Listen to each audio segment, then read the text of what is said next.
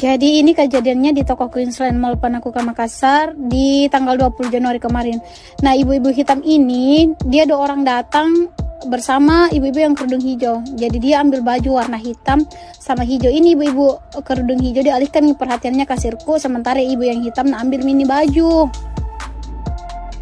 Nah ini ada video lebih jelasnya ini ibu-ibu yang bawa tadi uh, baju hitam.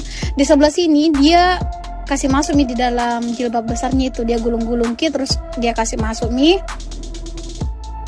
nah dia kembali mie ke temannya ini yang si kerudung hijau terus dia pura-pura kayak pilih-pilih baju begitu supaya kayak tidak terlalu diperhatikan nih sama customer lain karena posisinya di sini lagi ada sebagian customer juga yang pilih-pilih.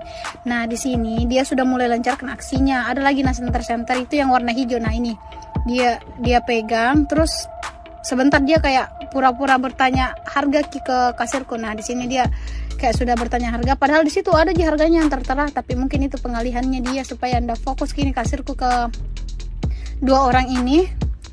Terus uh, kembali ke lagi dia ganti ki size nya mungkin Nabilan terlalu besar ki kalau XL dia ganti ki di sini jadi size size L Nah, di sini dia ngambil minyak.